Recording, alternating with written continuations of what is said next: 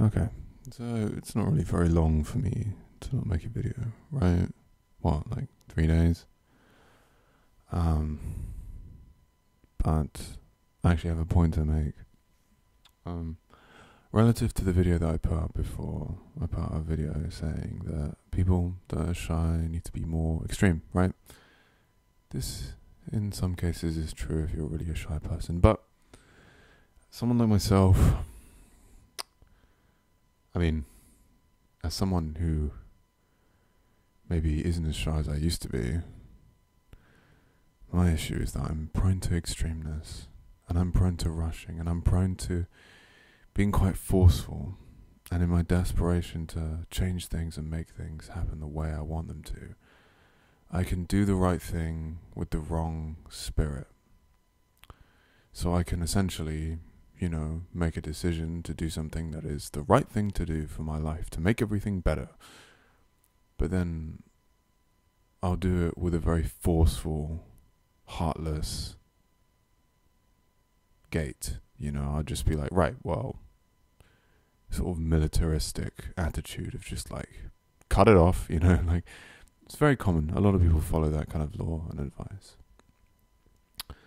But as someone that's grown more sensitive to the way that these kind of things work, um, and as someone who can't deny the significance about uh, of the way that you do things, because because look, this is the thing you will hear from certain kinds of people that just force it in place. And when you're in a certain mindset, I don't know why, how the mechanisms of this work. That works in certain places. Being really forceful works, but when you're healing, or I don't know what it is. I don't know what it is. I think once you've gone, I don't know. I think if you've gone too far in a certain direction, like I have, you start seeing how obnoxiously obvious it is that even though you might be doing the right thing, it's causing harm. You know, it, it's like so many people that have had near death experiences report doing all the right things to make sure that they don't die and actually it making them worse. But when they did it in the right spirit and with the right energy and with the right love towards themselves, that same process works for them. And so my point is is that once you're hip like I am to how the spirit of the, the spirit in which you do things really matters. Like the spirit in which it really really really does. Like if you're doing something out of love for yourself, and because this is the thing, I mean, I took a break, a mini break. It's not been very long, but I've been taking a break out of love for myself, right? I've been like, okay, I'm not going to use the fucking computer for 30 days. Cool. But the way I've been doing it has been not really that loving, you know? And I'm prone to making. I'm prone to extremism in a bad way because the extremism I'm kind of promoting in the video that I made before, I think, is a kind of extremism that can help people that aren't extreme enough or take risks. But I have been prone to extremism that causes more problems than it solves. And I know there are people that preach the power of extremism in and and they are shameless in it and they and they don't see any flaw, you know, the David Goggins of the world. Just force it into place, you know. But I actually think there's something wrong with that because once you're more sensitive and more aware of the subtle signs that life gives you, you've realized that you're actually steamrolling your way through life and destroying things that could teach you stuff. And, and that's what happened to me because I'm three, four days, I'm technically four days deep into my um, detox fast of not using the computer. And I realized that I'm actually doing it with the wrong spirit like although and I, and and it's true, I'm doing the right thing, and I did it because I love myself. Because and yeah, it's I've done this purely out of self love. Like I, I just wanted to to just quit a bad addiction that I had because I thought that being using the computer was an addiction that I should just stop. Right, and it's probably something I need to monitor and control a bit more, not just stop cold turkey. Because I mean, I make good music and I I like posting stuff and I like you know I like doing stuff online and you know it's fun, but I just need to stop or I don't know, figure something out, figure a more loving way out, perhaps, or something, because, you know, stopping just suddenly like that, it's just made me aware of how, in general, that kind of attitude of heartlessly cutting something out in pursuit, you say, I say, of wanting to do the right thing and heal myself or whatever. But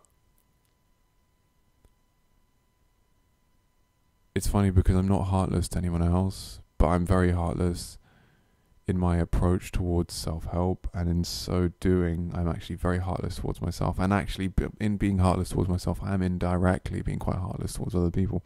And so people respond in turn. I don't know. I mean if anything's worth mentioning as well to wrap up like the dream I had last night was one where um I met someone that was an advisor to me and we were sharing food. But then you know, it was, it was like something akin to him saying like, "No, dude, I don't want to invite you around because you know you kind of use me up, you know." And then just get and then and then just realizing, oh, like, like the whole dream, it was almost like there were point. Oh my god, it was the craziest dream. But I felt like it, ex- it was the craziest dream. But it, it made a point so clearly. The whole dream, there was stuff going on around me all the time but I couldn't focus on any of it because I was so busy trying to get a point across that like I would just go from here to there but not ever really able to enjoy any of it or understand the meaning behind it. I knew I was seeing stuff, I knew I was going places, all kinds of places, but I wasn't really able to truly appreciate it because I was coming at it with this completely destructive mindset of just like nope, gotta do the right thing. Gotta, I, am on a mission. I'm on a mission. So, you know, and it's like, well, way to just phlegm in your life's face. You know, way to just spit in life's eyes because they're on a mission. Okay, cool, great mission, man. You you you're ignoring everything, and so the dream was like it wouldn't let me focus on anything. And so I'd know, I'd be aware of the fact, oh, there's a scene happening here. There's something supposed to be happening here. I'm supposed to be getting information, but nothing would come because it was basically saying, you're so determined to make a point. You're so determined. Because look, I will say, I'm a little bit upset about how. I'm upset at the lack of progress. I'm upset at the fact that, like, although I might know I'm capable of doing very good things, you know, as of late, not as of late, like my record on this channel is just it's it's fine. You see, see, this is the problem, dude. I'm really hard on myself, like exceptionally hard on myself. I've got that fucking samurai. I'm half Japanese. I've got a fucking samurai sword, and I'm ready to use it on myself real quick. You know what I mean? I'm ready to just like whew, cut my fucking arm off, whatever. You know, like I'm just, I'm I'm cold. I'm heartless, and I think it's probably because I had to be, or what? Who knows why? But that that's one of the problems. You know, I can be real fucking heartless and cold because in the name of doing the right thing, you know. And so, yeah, like that dream was really. I mean, it, it was barely a dream. It's almost like the whole dream was. It was hardly a dream. Like I'd, I'd my eyes, like I'd try and I'd see something, and then it would fail, fade away quicker than I'd be able to interpret. It's like, oh, so I think I'm in a Japanese. I think I'm seeing something Japanese, but oh yeah, this is like a Japanese scene, but it's fading away, and then and like I'd see like these guys on a swing swinging back and forth, but I'd walk past them so quickly I wouldn't even be able to appreciate any of it. It's like all this shit would be happening and all this stuff would be going on. It's like it was a very interesting dream that just happened, but the the pacing was wrong, and it's almost as if I ran. The metaphor for the dream was that I just ran through the entire thing so quickly that I missed everything. And I think that's what I do with life, and I think that's the kind of person that I can be. I can be so desperate to get ahead and no, you know, so eager to.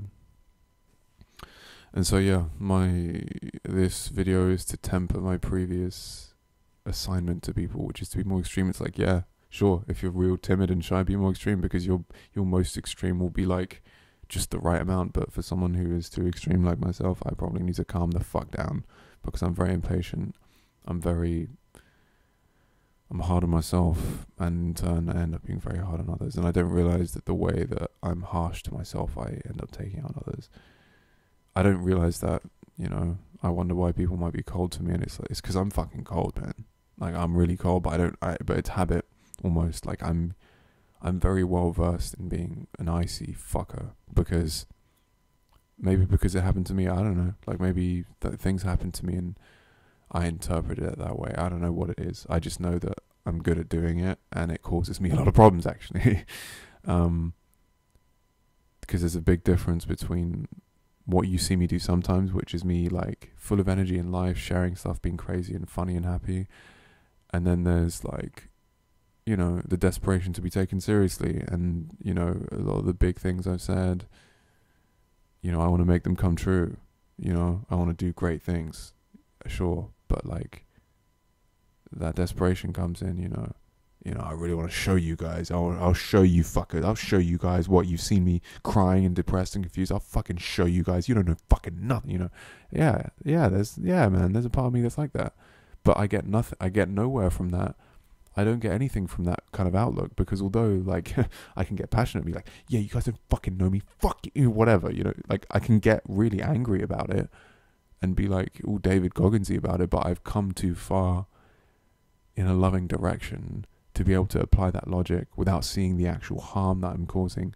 I think if you do it enough, if you do that enough, you can get so set in your way that life kind of works around you, but it also diminishes greatly. I think there isn't enough time or study done on how these kind of mindsets. I mean, if it works for them, sure, but I know as someone who who is more sensitive to like the world around me and and stuff like I have caused a lot of harm more harm than I've caused good in my extremism. My extremism as someone who is too extreme. You know, if you're shy or kind of meek person, be more extreme because it's balance, right? But for me, I'm too extreme. I can be too much. I can be too hardcore, and it causes more problems than it solves. At least I think so, anyway. And so here's to breaking early a 30 day record a, th- a goal of you know not using the computer for 30 days. Well i did it for four and i might try and cut down or something or maybe i'll compromise somewhat but it wasn't the goal is fine. It's like okay you're doing it because you love yourself and you want to get off technology. Great good. But the sentiment and, and even in my mind i was like you know i'm doing it because i love myself and all this kind of stuff like fucking looking in my eyes and crying and stuff and that's wow man wow wow that's beautiful amazing stuff but there's a heartless element and it's causing problems. So, with that in mind, I'm. I don't know, man. It's weird. It's weird because there are people that will hear that and be like, "Oh, you failed." It's like, you know what?